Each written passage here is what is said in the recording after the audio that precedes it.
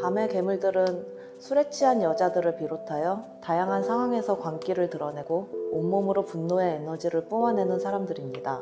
주변의 만류에도 불구하고 밤의 해변을 기분 좋게 산책하는 사람부터 억지로 마신 술을 토하고 그 토사물을 상대방에게 건네는 사람, 지구대에 앉아있는 친구들, 풀밭에 누워있는 사람, 골목에서 노상방뇨를 하고 있는 사람, 산발을 한 채 이빨을 드러낸 사람 등이 있습니다.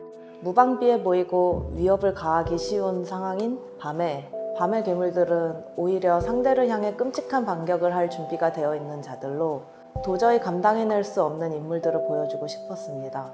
그림이 완성되었을 때 언제든 다시 뒤섞일 것 같은 상태처럼 보이길 원했습니다. 화면 안으로의 완전한 몰입을 방해하는 요소를 함께 연출하면서 유동적으로 보일 수 있는 장면을 기대했습니다. 예, 수고하셨습니다. 아, 진짜 이걸로 되나요?